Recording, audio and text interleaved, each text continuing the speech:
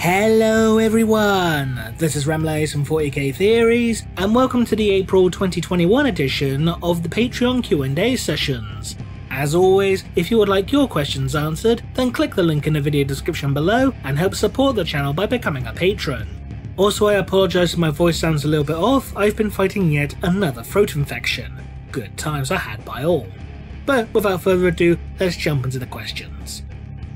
Thomas Badkin asks, what is the Emperor's and the Primarch's favourite food? I have absolutely no idea.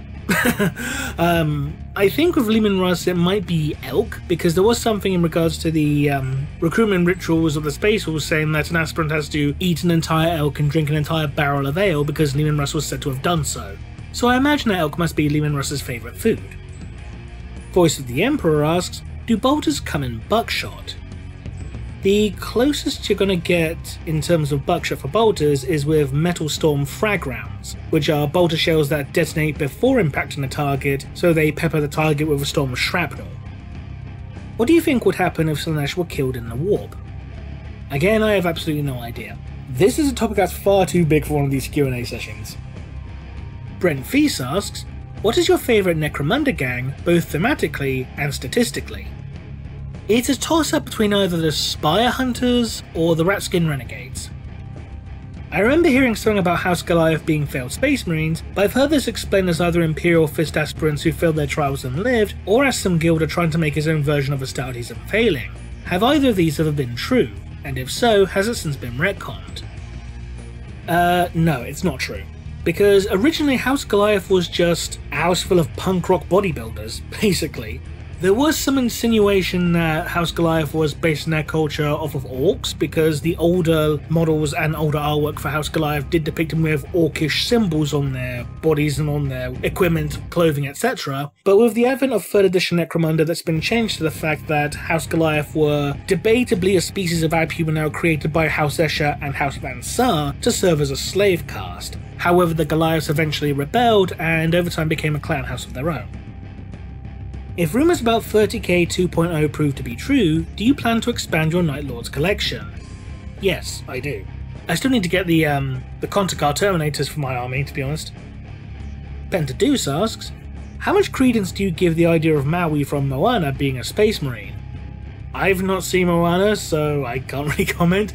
Um, but isn't he meant to be like some kind of Polynesian god? So wouldn't that make him closer to being a Primarch? I don't know, just saying. If a Renegade chapter were to pose as a Loyalist chapter, how long could they theoretically keep up the charade? As long as the plot demands. um, funnily enough, there was an instance in um, the third Fabius Bile novel, Manflayer, where they, the Consortium goes to an Imperial world disguised as Loyalist Space Marines, and as they're basically the center of a huge parade, everyone's saying like, "Oh, the Space Marines are back! Yay!" One of the uh, Consortium members says to Bile over a private Vox channel, "This is really embarrassing." To which Bile responds saying, just shut up, smile and wave, that's a good servant of the Corpse Emperor. I just thought that was a great little segment. Zero Hits asks, Given the dramatic events of Cadia and the return of the Silent King, do you think there could be Necron Lords who might seek a more direct alliance with the Imperium? It's entirely possible. Necron Lords are shown to be incredibly diverse in their mindsets, so there's bound to be at least one who thinks an alliance with the Imperium is a good idea. Austin Horner asks, in the novel Mephiston's City of Light, Mephiston and the company of Blood Angels come under attack by a group of Harlequins who use a gas that not only causes the Blood Angels to see the Harlequins as traitor Astartes, but also fools many of them, including Mephiston, into thinking that they are falling to the Black Rage. Are there any other instances of such a false fall being created? Not to my knowledge, but that's not to say that it hasn't happened in a previous Blood Angel story. It's possible, but to my knowledge, I've not heard of any other instances of this. Griffin of Might asks, would the Grey Knights be welcomed into the Black Library and make use of it? no. the Grey Knights as a chapter will not be welcome into the Black Library at all. The, the, fact that you can count on one hand the amount of Inquisitors that have actually been given access to the Black Library, and even then, in half the cases, they're kept as prisoners like with Inquisitor Czevak, he was invited to tour the Black Library, but he was kept as a prisoner until he stole the Atlas Infernal and broke out and escaped, and even then he still had the Harlequins on his tail.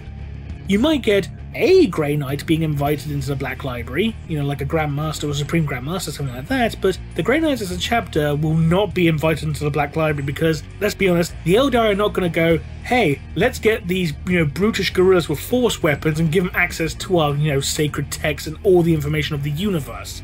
Not going to happen. Do the Mechanicus make use of psykers outside of astropaths and navigators? Not to my knowledge, but I know there has been instances of tech priests who have demonstrated some psychic abilities, because there is one in the audio drama Heart of Rage who ends up taking control of a of a, of a Tyranid hive ship. It's very crazy that story, so I advise you to check it out. It's pretty good, but crazy. If enough orcs believe that there were female orcs, would female orcs come into being? I sincerely doubt it. Chief Surgeon asks, What are the requirements for Homebrew of the Week? You need to submit lore and the accompanying artwork to the 40k Theories Facebook page. No more than 10 pages, because let's be honest, ladies and gentlemen, please think of Paul Arena. She's the one who has to read all these. Um, so yeah, basically that. Ghost Reaper asks, why did Belisarius call Trazyn an abomination, even though the Necrons are everything the Mechanicus aspire to be with their devotion to metal over the human body? Because they're Xenos. It's pretty much that simple. Um, because the bulk of humanity, alien bad alien unclean, alien need to go purge and burn. That's basically the mindset of most of humanity. And even if that wasn't the case specifically, you know, what does Trazyn look like at first glance? You know, he's a robot, yeah. But what does he actually look like? Abominable intelligence. Now, whether Necrons are truly abominable intelligences or whatever in regards to their personality engrams, it's a somewhat debatable issue, but A, he's an alien, and B, he's an AI. Both are big no-nos. Does the Sanguinor provide assistance to Blood Angel's successor chapters? Yes. Would maintaining the original nine Loyalist legions have been practical in the modern 40k setting compared to splitting them apart into separate chapters? That's a huge logistical debate which I will not get into at this point in time because there isn't enough time. Aspertes asks, if a Space Marine's gene seed is removed while they are living and healthy, would they die, lose functionality, organic regenerative repairability, and or fighting capacity once the gene seed is removed? No, because we know there are instances where a progenoid gland can be removed from a Space Marine while they're still alive, this is shown in the novel Pandorax with Epimetheus, because Epimetheus even turns around and states that, well, the narrator states, that Epimetheus was originally a Dark Angel, but had his original progenoid glands removed and replaced with those derived directly from the genetic material of the Emperor. So progenoid glands can be swapped out between, you know, different Astartes while they're still alive. So I doubt, you know, say you got a Blood Angel and you remove his progenoid glands, it's not really going to do much. Apart from like, you know, make him a little bit uncomfortable because there's now a big gaping hole in his neck for time being until that closes up, but that's another issue entirely. And finally, Angerous Angel asks, is there any evidence suggesting that the Hrud's time-altering ability can affect a Necron to the point where the metallic form can decompose like a piece of rusting metal? And if so, would the Necron's reanimation protocols kick in? I see no reason why not initially, I mean, I know the Necrons themselves have bodies that are like millions upon millions of years old in some cases, but this is pretty much due to the fact that most of these Necrons were kept in stasis rather than, you know, you know, still being active for like 65 million years. So it's theoretically possible, but we don't know quite enough about the properties and characteristics of Necrodermis to say otherwise. So chalk this up into the maybe pile but we can't really say for certain at this point in time because I don't think there's ever been an instance where the Necrons have actually faced off against the Hrud. At least not that I can think of off the top of my head, so it's possible, but we don't actually have a way of knowing at this point in time. And that concludes this edition of the Patreon Q&A sessions. As always, if you would like your questions answered, then click the link in the video description below and help support the channel by becoming a patron. Until next time, this has been Remleiz from 40k Theories, and we'll see you again soon. Bye bye!